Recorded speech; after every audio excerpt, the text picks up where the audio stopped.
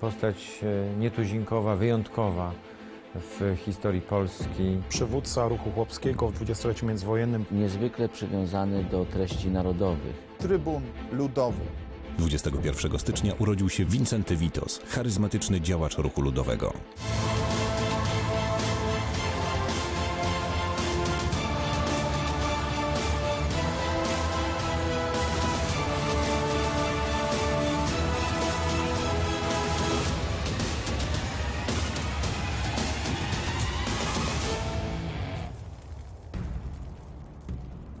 Wybitny mąż stanu, jeden z najbardziej wyrazistych polityków, jeden z najważniejszych przywódców ruchu ludowego, wpłynął na ukształtowanie świadomości narodowej polskich chłopów, trzykrotny premier II Rzeczypospolitej. Człowiek, który urodził się właściwie w bardzo biednej rodzinie, w Wierzchosławicach, to jest niedaleko Tarnowa. Człowiek, który dzięki własnej pracy, własnym umiejętnościom doszedł do no, bardzo wysokich stanowisk. Tak naprawdę w dużej mierze samouk, ukończył tylko cztery klasy szkoły podstawowej, ale w dużej mierze posiadł takie umiejętności, których nikt inny albo nie mógł mieć, albo nie zostało mu dane. Od wczesnych lat zaangażowany w działalność społeczną i w działalność polityczną. To właśnie Wincenty Witos stał na czele ruchu chłopskiego, najpierw PSL Piast, potem Stronnictwa Ludowego. To on doprowadził do zjednoczenia tych różnych stronnictw czy różnych partii mm, ludowych i ostatecznie utworzenie jednego wspólnego Stronnictwa Ludowego pod koniec lat 30. Ale nie ustawiał tych chłopów w perspektywie politycznej przeciwko szlachcie, ale w kontekście walki o y, prawa y, tychże chłopów. Więc na pewno nie był to ruch rewolucyjny, na pewno on nie chciał wywrócić całego porządku do góry nogami. Wincenty Witos samą już swoją postawą, samymi gestami, słowami budził respekt przede wszystkim w stronnictwie ludowym, a również wśród innych posłów. Można powiedzieć, że w dużej mierze jeśli wchodził na salę sejmową, to królował na tej sali.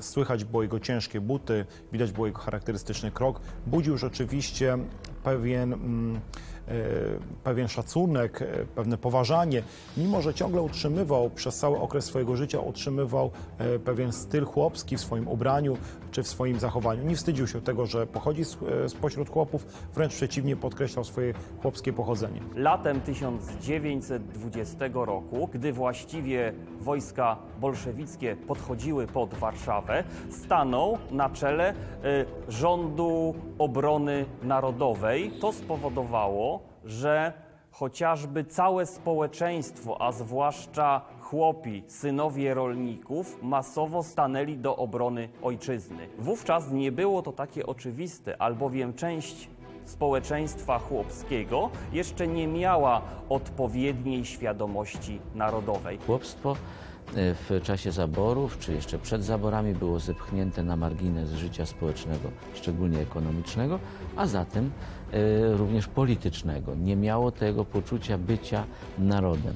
A żeby tak się stało, trzeba było tych chłopów upodmiotowić. On jak gdyby włączył klasę chłopską do walki o niepodległość. On pokazał cele dla społeczeństwa wiejskiego. Cele, które były zbliżone z celami niepodległej e, Rzeczpospolitej postać Witosa była dla nich postacią symboliczną, y, która spowodowała masowy napływ ochotników do ochotniczej polskiej armii. To spowodowało, że wówczas przeciwko bolszewikom wystawiliśmy jedną z najliczniejszych w historii ochotniczych armii, liczących bez mała milion żołnierzy i to między innymi pozwoliło nam wygrać wojnę polsko-bolszewicką w 1920 roku. To jest o tyle istotne, istotne, że Polskę nie ogarnął ruch rewolucyjny, który miał miejsce chociażby w Rosji, w Niemczech, na Węgrzech czy w Austrii. Polska zupełnie inaczej przeżyła ten okres po I wojnie światowej. Był premierem e, trzykrotnie do roku 26, czyli do czasu, kiedy nastąpił e, zamach e, majowy. Jego życie polityczne nie było proste. Po zamachu majowym był mocno prześladowany. No, z tego powodu, że nie akceptował rządów Piłsudczyków, rządów sanacyjnych, z tego powodu, że tuż przed zamachem majowym był premierem.